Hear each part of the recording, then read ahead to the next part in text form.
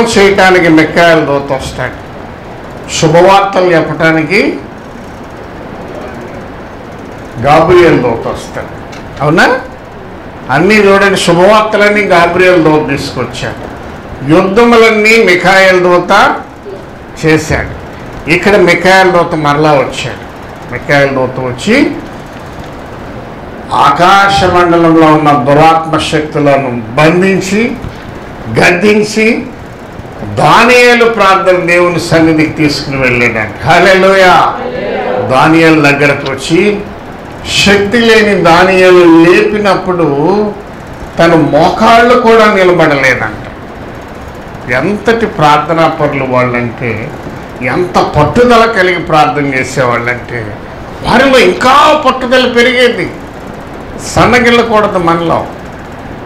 సన్నగిల్లకూడదు. ఒకవేళ ప్రార్థనకి ఇవాళ రాలేదు రేపు రాలేదు మూడు రోజులు జవాబు రావట్లేదని ఎదురు చూడటానికి వీలే ఎందుకంటే అబ్రహాము లాంటి తండ్రిని మనం కలిగి ఉన్నాం. అవునా? విశ్వాసులకు తండ్రి ఎవరంటే అబ్రహామే. అబ్రహాము పోరాటము ఈ భూమి మీదకి ఎవరు? పోరాడి ఉండరు. డెబ్బై ఐదేళ్ళ వయసులో ఇంట్లో నుంచి బయటకు వచ్చిన అబ్రహాము ఇరవై ఐదు సంవత్సరాలు నడిచాడండి. ఎక్కడికి నడవాలో తెలియక. ఇరవై ఐదు సంవత్సరాలు జవాబు రాలేదు అబ్రహాంకి కానీ నిరుత్సాహము తన శరీరము మృత తుల్యమైపోయినదని ఎరిగి కూడా అవిశ్వాసము వలన తన విశ్వాసమును కోల్పోక అంటాడు. చాలా బలమైన మాటలు బైబిల్లో. ఇవన్నీ కూడా మనం జ్ఞాపకం చేసుకుంటా మన కుటుంబ వ్యవస్థలు ఎదురైనప్పుడు ఉండాలి మరొక వ్యక్తిని మనం ఈ సమయంలో ఆది కాండము ముప్పై మూడవ అధ్యాయము మొదటి వచ్చిన చదువుదాం. యాకోబు కనులెత్తి చూసినప్పుడు ఏషాబు అతనితో నాలుగు వందల మంది మనుషులను వచ్చుచుండేది యాకోబు తన మామగారింటికి వెళ్ళి తిరిగి వస్తున్నాడు అన్నను మోసగించాడు. మోసగించి పారిపోయాడు. తిరిగి వస్తున్నాడు. ఏషావు ఎదురు చూస్తున్నాడు అన్న. ఈ మోసగాడు కనుక వస్తే వీడిని వీడి జనాంగాన్ని నేను చంపాలి అనుకుంటున్నాడు. యాకోబు పెనుయేలు ఎబ్బోకు రేవు దగ్గరకు వచ్చి దిగాడు అని తెలియగానే ఏషావుకి నాలుగు వందల మంది జనాన్ని సిద్ధం చేసుకుని నాలుగు వందల మందికి ఆయుధాలు ఇచ్చి యాకోబు వెనక ఎంతమంది ఉన్నారో తెలియదు కాబట్టి వాళ్ళందరినీ హతము చేయాలనుకుని ఉగ్రుడై వస్తున్నాడు ఉగ్రుడై వస్తున్నాడు ఒక్కడే. యాకోబు ఒక్కడే. మిగతా వాళ్ళు ఎవరంటే తన భార్యలు చిన్న పిల్లలు. తనకు కలిగిన పిల్లలు ఎంతమంది అప్పటికి? పదకొండు మంది పిల్లలు ఉన్నారు పన్నెండు మంది సంతానం యాకోబుకి. రాహేల్ ఇంకా గర్భంతో ఉంది. రాహేల్ ఇంకా గర్భంతోనే ఉంది ఇంకా బెన్యామీను పుట్టల. పదకొండు మంది పిల్లలు భార్యలు నలుగురు గొడ్లు గోద మేకలు బొర్రెలు తీసుకుని ఒక్కడే వస్తున్నాడు. కానీ ఏషావు ఎంతమందితో వస్తున్నాడు? నాలుగు వందల మందితో వస్తున్నాడు. ఒక్కరిని ఎదుర్కోవాలి. ఇక జయించలేడు కాబట్టి ఆ రాత్రే ఆ రేవు దాటించి తెల్లవారు వరకు దేవునితో పెనుగులాడాడు. నువ్వు నన్ను ఆశీర్దిస్తేనే నిన్ను పోనిస్తాను. దేవుని ఆశీర్వాదము పొందుకున్న యాకోబంట దేవుని దీవెన పొందుకున్న యాకోబులో తగ్గింపు నేర్చుకున్నాడు. హలోయా ప్రార్థన ఏం నేర్పిందంటే యాకోబుకి తగ్గింపు నేర్పింది సమాధానం నేర్పింది. పోరాటం కాదు ఇది ఇదొక రకమైన పోరాటం. శత్రువుని జయించాలి అంటే తగ్గించుకోవాలి మనం. శత్రువుని జయించాలి శోధనలు జయించాలంటే తగ్గించుకుని ప్రార్థన చేయాలి.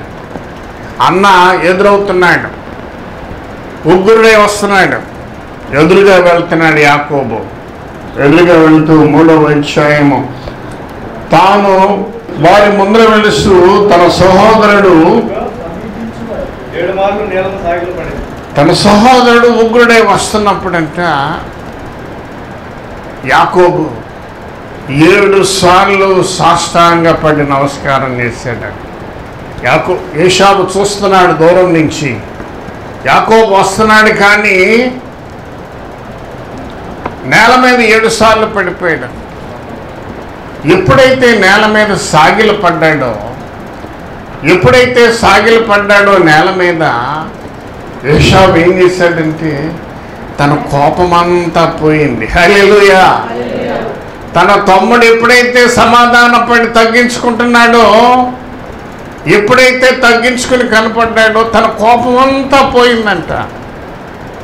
పరుగు పరుగునొచ్చి తమ్ముడిని కౌగిలించుకుని మెడ మీద పడి ముద్దు పెట్టుకున్నాడు. హల్లెలూయా. ఈ రకమైన ఎదుర్కోవటం దేవుడిచ్చిన మాట చొప్పున ఏం చేశాడంటే యాకోబుకి ప్రేమతో జయించే శక్తిని ఇచ్చాడు. ఆమెన్. యాకోబు అన్నని ప్రేమతో జయించాడు. మన ఇంట్లో వచ్చే సమస్యలు ఒక్కొక్కసారి మనకు కూడా చాలా కోపం వస్తుంది. మనకు కూడా ఇంట్లో వాళ్ళు మనల్ని హింసిస్తున్నప్పుడు వారి మీద చాలా కోపం వస్తుంది. కానీ మనము దేవుని ఎరిగిన బిడ్డలుగా ప్రేమ కలిగిన వారిగా వారి దగ్గర మనం కొంచెం తగ్గించుకున్న ప్రాబ్లం లేదు. మీ అన్న మీ అత్తగారి దగ్గర మీ ఆడబిడ్డ దగ్గర మీ భర్త దగ్గర మీ భార్య దగ్గర కొంచెం తగ్గించుకున్నంత వల్ల ఏమీ ఇబ్బంది లేని లేదు. కొంచెం తగ్గించుకోవటం వల్ల అక్కడ ప్రేమ డెవలప్ అవుతుంది తప్పితే కక్షలనే డెవలప్ అవ్వవు. కక్షలనే డెవలప్ అవ్వవు. ఎక్కడైనా కూడా ఒక భార్య వెళ్ళి కేసు పెట్టిందనుకోండి పోలీస్ స్టేషన్కి వెళ్ళినప్పుడు అక్కడ కౌన్సిలింగ్ అనేది చేస్తారు పోలీసులు. అట్లాగే ఫ్యామిలీ కోర్టుకి వెళ్తే ఫ్యామిలీ కోర్టులో జడ్జి ఏం చేస్తారంటే రీకన్సిలేషన్ అని చేస్తారు. రీకన్సిలేషన్ అంటే ఇద్దరిని ఒక గదిలోకి తీసుకెళ్ళి జడ్జి ఒక్కడే మాట్లాడతారు భార్యతోను భర్తతో ఈవేళ నువ్వు ఇది డెవలప్ చేసినందువల్ల మీలో కక్ష పెరుగుద్ది. మీలో దూరం పెరుగుద్ది తప్పితే ప్రేమ పెరగదమ్మా. మీలో ఎవరైనా సమాధాన పడకూడదా అని రీకన్సిలేషన్ అంటారు దాన్ని. సమాధాన పడండి. కోర్టు అయినా స్టేషన్ అయినా అధికారులైనా ఎవరైనా ఏం చెప్తారంటే ఒక కుటుంబ వ్యవస్థలో ఇద్దరు భార్యాభర్తల మధ్య ఇద్దరు అన్నదమ్ముల మధ్య ఒక గొడవ ప్రారంభమైనప్పుడు సమాధాన పడండి చెప్తారు. ఆ సమాధానం అనేదంట జయించే శక్తిని ఇస్తుందంట. యాకోబు ఎంతమందిని జయించినట్లు లెక్కప్పుడు?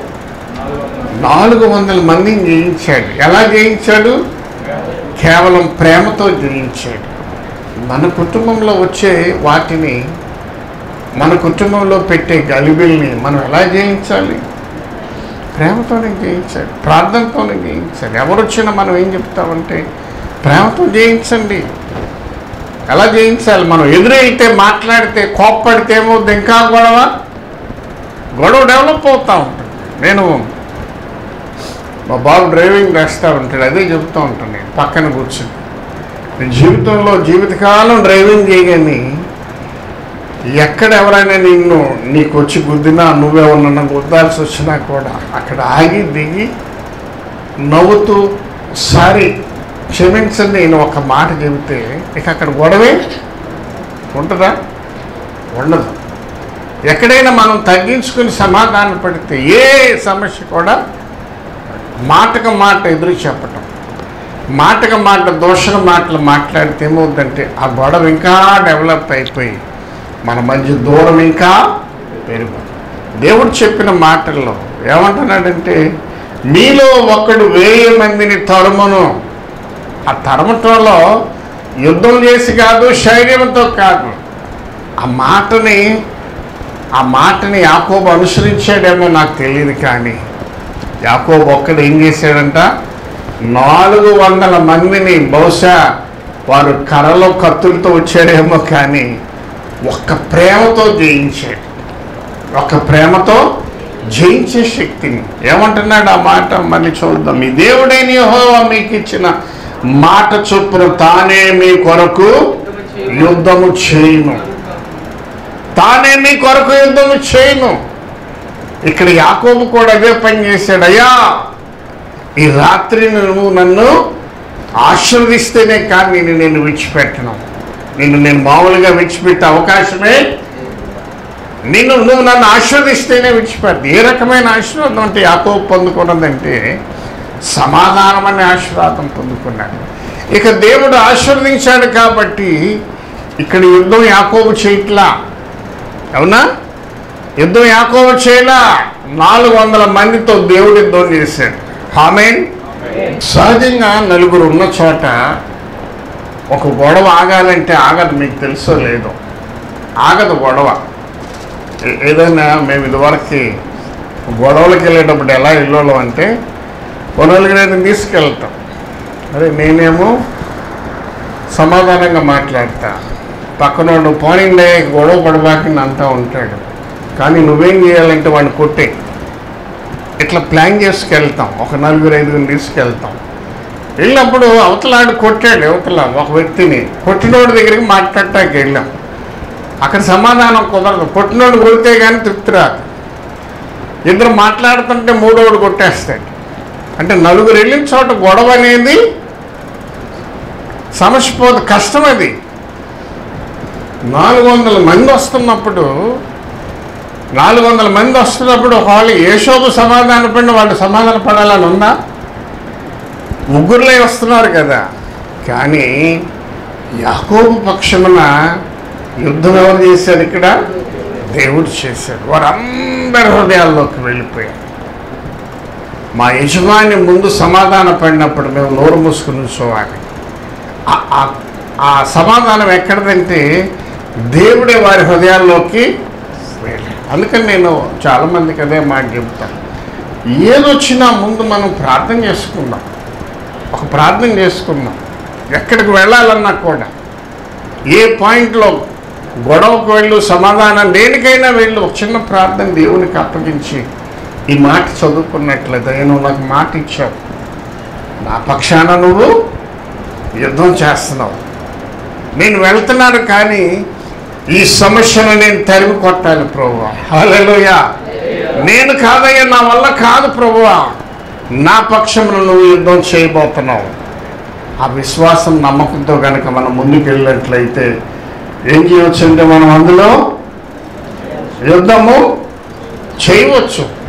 దేవునికి మహిమ కలుగులు గాక. హాలూయ మరొక వ్యక్తిని చూద్దాం. ఆ రోజుల్లో దేవుడు ఒక్కొక్క ప్లేస్లో ఒక్కొక్కరిని రక్షించడానికి ఒక్కడే గుర్తుపెట్టుకోండి. ఒక్కడితోనే అద్భుతాలు చేశాడు.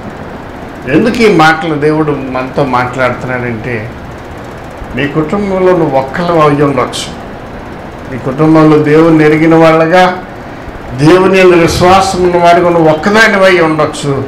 నువ్వు ఒక్కడివై ఉండొచ్చు. అప్పుడప్పుడు నీ కలగొచ్చే ఆలోచన నా ఒక్కదాని ప్రార్థన ఎన్ని చేస్తుంది ఎన్ని సమస్యలని ఈ శోధనలు ఎక్కడ చేయించగల జయించలేకపోతున్నాను నా ఒక్కడి ప్రార్థన మా అన్నదమ్ముల్ని ఎలా జయించాలి?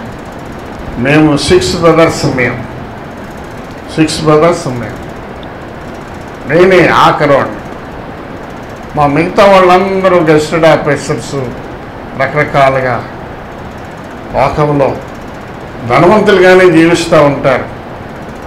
వారికి దేవునికి ప్రార్థన చేయాలి దేవుని దగ్గర సమాధాన పడాలి ఈ ఆలోచనలు వారిలో ఉండవు.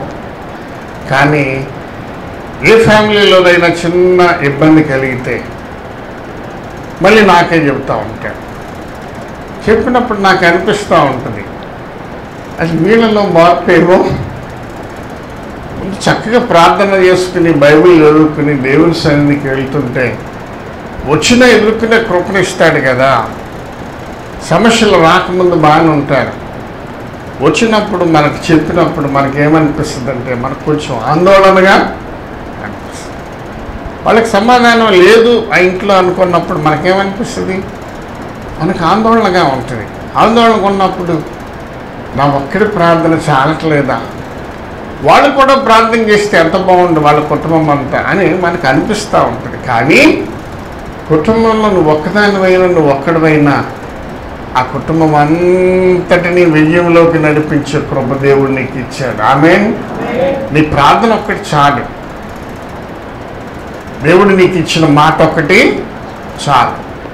నువ్వు మనసు పెట్టి నువ్వు కాన్సన్ట్రేషన్ చేసి వారి పక్షంలో గనక నువ్వు దేవునితో అడగటం మొదలు పెడితే దేవుడు ఖచ్చితంగా నీ కుటుంబంలో సమాధానము దయచేస్తాడు. హల్లెలూయా న్యాయాధిపతుల కాలంలో ఇద్దరు వ్యక్తులు ఉన్నారు. వాళ్ళందరికీ తెలిసిన వ్యక్తి సంసోన్. సంసోను పుట్టడమే వారందరు ఇస్రాయలను రక్షించడానికి పుట్టాడు. పుట్టాడు కానీ తను ఎదుగుతున్న కొద్దీ ఏం చేశాడంటే పాపంలో పడిపోయాడు. పాపంలో పడిపోయాడు. ఏం చేశారంటే శత్రువులు ఏం చేశారంటే వీళ్ళని జయించలేక ఒక స్త్రీని పంపారు సంసోన్ దగ్గరికి. డలీలా అనే అమ్మాయిని పంపించారు. డలీలా అనే అమ్మాయిని పంపించి ఫిలిస్తీన్లు ఎప్పుడు కూడా ఇస్రాయల్ని గెలవాలని ప్రయత్నం చేస్తూ ఉండేవాడు అక్కడ ఫిలిస్తీన్లతో పాటు సర్దార్లు అనేవారు కూడా జాయిన్ అయ్యారంట. సర్దార్లు అనేవారు కూడా జాయిన్ అయ్యారు. ఇస్రాయల్ని జయించాలి. ఇస్రాయల్ అందరిలో కూడా దేవుని అంశతో పుట్టినవాడు ఎవరు? సంసోన్. సంసోన్ని జయించడం వారి వల్ల కావట్లేదు. సంసోను ఒక్క రోజు మూడు వందల నక్కలను పట్టుకుని వాటి తోకలకి దివిటీలు అంటించి ఆ వారి దేశం అంతా వారి పంట పొలాలన్నీ కాలిపోయేటట్టుగా చేశాడు. ఒక దవడ ఎముక పట్టుకుని వంద మందిని చంపేశాడు. మౌలుడు కాదు శక్తివంతుడు. సంసోన్ని ప్రత్యక్షంగా జయించలేక సంసోన్లో ఉన్న బలమేమిటో వారు కనుగొని ఎట్లా కనుగొన్నారు? ఢిల్లీలాని పంపించి ఢిల్లీలో ఎందుకు వెళ్ళిందంటే సంసోన్ మీద ప్రేమతో వెళ్ళల. సంసోన్ని ప్రేమించడానికి వెళ్ళల. తన స్వజాతిని రక్షించుకోవటానికి సంసోన్ని చంపటానికి ప్రేమించినట్టుగా తనతో కలిసి ఉండి సంసోను శక్తి ఎక్కడున్నదో కనుగొని తన తల వెంట్రుకల్లో ఉండటం వల్ల తన తన వెంట్రుకలు ఏం చేసింది? క్షౌరం చేయించేసింది శక్తి లేని వాడయ్యా గాజా అనే పట్టణం ఇంకా ఉంది. మనం గ్రా మనం మ్యాప్లో చూసినట్లయితే పాలస్తీన పక్కన ఉంటుంది గాజా అనే ఇప్పటికే వాళ్ళు ఇస్రాయల్ దేశానికి శత్రువులే. ఆ గాజా అనే చోటకి సంసోను కళ్ళు పీకేసి తీసుకుని వెళ్ళి వారి దేవతా మందిరంలో బంధించారు. బంధించి సంసోనికి చంపేయాలి. ఆ మందిరంలో బంధించి న్యాయాధిపతుల గ్రంథంలోకి వెళ్దాం పదహారు అధ్యాయము ఇరవై ఏడు నుంచి ముప్పై వచ్చినాలు చూసినట్లయితే చివరి దినాలకి ఎవరికి? సంసోనికి కళ్ళు పీకేశారు. ఆ మందిరం మధ్యలో ఇటొక స్తంభానికి ఇటొక స్తంభానికి అతను చేతులు కట్టేసి అతనికి చంపాలి. వారందరూ ఆ గాజా పట్టణంలో ఉన్న సర్దారులు పిలిస్తేలందరూ వచ్చేసారు. చేసి ఒక బాల్కనీలో ఉన్నవారు ఎంతమందో తెలుసా? మూడు వేల మంది స్త్రీలు కూర్చున్నారంట ఒక బాల్కనీలో నీకు ఎంత పెద్ద మందిరం ఆలోచించి? మొత్తం గుమిగూడారు. గుమిగూడి సంసోన్ని హేళన చేయటం మొదలుపెట్టారు. సంసోన్ని ఇక చంపాలి కాబట్టి అవమానపరచడం మొదలుపెట్టారు. చివరిగా దేవుణ్ణి ఒకే ఒక్క కోరిక కోరాడంట. అయ్యా నన్ను క్షమించిన ప్రార్థన చేస్తున్నాడు. అయ్యా నన్ను క్షమించు. నువ్వు నాకు అప్పగించిన పని నేను విడిచిపెట్టాను. నీకు నేను దూరస్తున్నయ్యాను ఈ వ్యభిచారం అనే ఊరిలో పడిపోయి నేను ఈ స్త్రీ మోదులో పడయ్యా నీ జనాంగాన్ని నేను రక్షించలేకపోయి నన్ను క్షమించు ప్రభా. ఒక్క అవకాశం. ఎంతమందిని హతమ చేయటానికి నేను ఒక్కని చాలు ప్రభా. నా జనాంగం పక్షమున నన్ను ఒక్కడినే పుట్టించావు ఈ గృహంలో. ఈ దేశంలో నన్ను ఒక్కడినే పుట్టించావు. జ్ఞాపకం చేసుకో సహోదరి సహోదరుడు. నీ ఇంట్లో నువ్వు ఒక్కదానివే దేవుణ్ణి అడిగిన దానివి. నీ ఇంట్లో నువ్వు ఒక్కడివే దేవుని ఎందు భయభక్తులు కలిగి విడిచిపెట్టకుండా దేవుని సన్నిధికి వెళ్తూ ప్రార్థన చేస్తూ. నీ కుటుంబంలో ఏ ఎవరికి ఏ సమస్య వచ్చినా కూడా వాళ్ళు లోకస్తులుగా జీవిస్తున్నప్పుడు వారి గురించి వేదన పడేది నువ్వే. వారు పాపంలోకి వెళ్ళినప్పుడు లేకపోతే దారి తప్పినప్పుడు వారి గురించి ఏడ్చేది నువ్వే. నీ ప్రార్థనకి జవాబు వస్తుంది ఖచ్చితంగా. హాలేలుయా నీ రోదనకు ఖచ్చితంగా దేవుడు జవాబిస్తాడు ఈరోజు. ఆమె సంసోన్ అంటున్నాడు అయ్యా నన్ను ఒక్కడిని పుట్టించినందుకు. నేను నీకు వ్యతిరేకంగా జీవించిపోవా ఎంతమందికి అన్యాయం చేశాను. ఒక్క ఛాన్సే నాకు అందరిక్కడే ఉన్నాడు. వీళ్ళందరినీ హతమ చేయడానికి ఒకే ఒక్క అవకాశం ఉందాక ఒక్కడే. ఏమంటున్నాడు యహోశివ నీలో ఒకడు వెయ్యి మందిని తరుమును ఒక్కొక్కడు వేల మందిని తరిమేస్తారు. మాటలు కాదు. అంతటి కృప దేవుడు మీకు ఇచ్చాడు. ఒకవేళ యహోశివ మాట దేవుడు స్థిరపరిచాడేమో. సంసోన్ ఎంత బలాజుడంటే మరలా దేవుడు అంతటి కృపనిచ్చాడు. ఒక్కసారి అప్పట్టివేయబడిన గొలుసులు ఇలా బలంగా లాగినప్పుడు బహుశా ఆ మందిరానికి మూల స్తంభాలైనవి కూలిపోయి ఏమంటున్నాడు? చివరి మాటలు అంటున్నాడు. మరణకాలము అతడు చంపిన వారి శవముల లెక్క జీవిత కాలంలో అతడు చంపిన దానికన్నా రెట్లు రెట్లు అంట చప్పట్లు కొట్టండి. హల్లెలూయా. చివరి క్షణం అవ్వచ్చు కానీ మొత్తం తన జీవిత కాలంలో శత్రువులను చంపిన వారి కన్నా ఎక్కువ మందిని ఒక్కరోజు హతమ చేయగలిగాడంట. యుద్ధం చేసి కాదు. అవునా? ఖడ్గమ చేత చంపాడా? కాదు. ఒక చిన్న ప్రార్థన చేశాడంతే. ఒక చిన్న ప్రార్థన ఏం చేసిందంటే అన్ని వేల మంది శత్రువులను కూర్చిపడవేసి ఇప్పటికీ కూడా గాజాలో ఆ మందిరం ఎవడో తిరిగి కట్టల. గాజా వెళ్ళటానికి మనకు అవకాశం లేదు. ఎందుకంటే శత్రు దేశం కాబట్టి మీరు ఇంటికి వెళ్ళి నాకు యూట్యూబ్లో గాజా స్ట్రిప్ అని కొట్టి చూడండి. ఆ శిథిలాలు ఇంకా కనపడతాయి ప్రత్యక్ష సాక్ష్యాలు ఒక చిన్న ప్రార్థన ఏం చేసిందంటే వేల మంది శత్రువులను హతము చేసింది ఈరోజు దేవుడు మనతో మాట్లాడుతున్నాడు. వేల సమస్యలు చుట్టుముట్టు ఉండొచ్చు కానీ ఒకవేళ ఆలస్యం అవుతున్నాయేమో కానీ దేవుడు మాటిస్తే మీ పక్షం యుద్ధం చేయటానికి ఆయన సిద్ధముగా ఉన్నాడు. ఆయన యుద్ధం చేస్తాడు నీ పక్షాన. జయించే కృప నీకు ఇస్తాడు. ఇంతమందిని ఎందుకు జ్ఞాపకం చేసుకుంటున్నాం ఈ అంటే వారందరూ కూడా జయించారు ప్రియమైన సహోదరి. వారందరికీ శ్రమ వచ్చింది సంవత్సరానికి శ్రమ రాలేదా? సంవత్సరంకి వచ్చిన శ్రమ నీకు ఎప్పుడన్నా వచ్చిందా? నాకు వచ్చిందా? నీ కళ్ళు వీకేశారు ఎవరన్నా? బంధించారా నిన్నెవరన్నా? ఆ స్థితిలో కూడా సంసోను ప్రభువా నాకు ఒక అవకాశమే అయ్యా. నాకు ఒక అవకాశమే. నీ ప్రార్థన ఎలా ఉండాలంటే చుట్టూ సమస్యలు వచ్చేసినాయి. ఒక్కొక్కసారి టెన్షన్గా ఉంటుంది నిజమే. మన చుట్టూ ముట్టేసి తిరుగుతూ ఉంటాయి కానీ మనం ఎప్పుడు కూడా వీళ్ళందరినీ జ్ఞాపకం చేసుకుని యహోశివ మాట జ్ఞాపకం చేసుకుందాం. ఏ మాటది? మీ దేవుడైన యహోవా మీకు ఇచ్చిన మాట చొప్పున తానే మీ కొరకు అన్ని విషయాల్లో చేస్తాడు ఆయన మనతో. మన పక్షానన్ని నీకు ఆ రోజుల్లో వారి కింద వచ్చింది.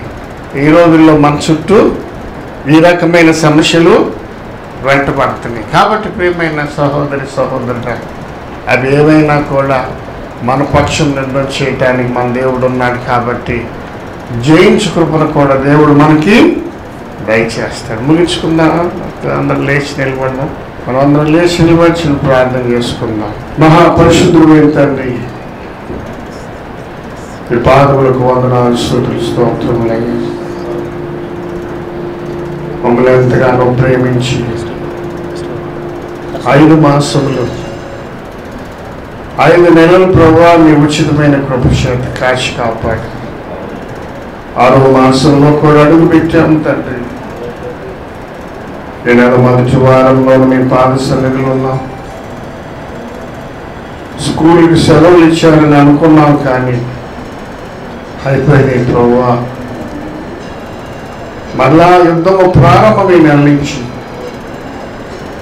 జీవితం అన్నాక ఇలాంటి పోరాటాలు తండ్రి మేము ఎదుర్కొంటూనే ఉన్నాం. జయిస్తూనే ఉండాలి కాబట్టి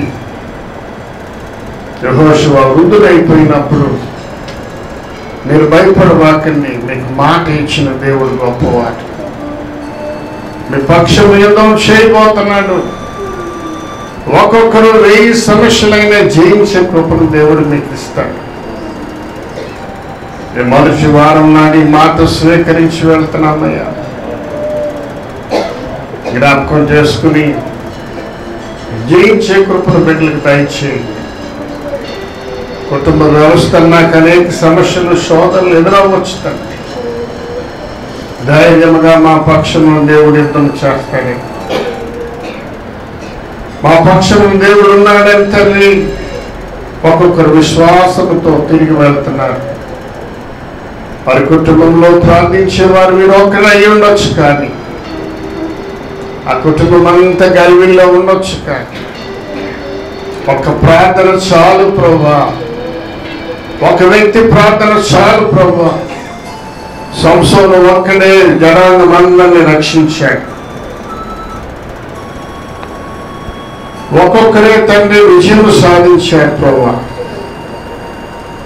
ఎంతో మంది గురించి చదువుకున్నారు ఇప్పుడు వరకు యాకోబు ఒక్కడే తండ్రి. నాలుగు వందల మంది సంపాదన వచ్చిన వారు వెనుదిరిగి వెళ్ళిపోయారు. ఈ మాటలన్నీ మమ్మల్ని బలపరుస్తున్నాయి అని మాటలన్నీ మా కృపనిస్తున్నాయి అని నమ్ముతున్నాం.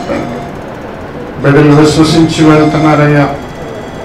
ఈ నెల వారికి ఆశీర్వాదకరముగా మార్చండి.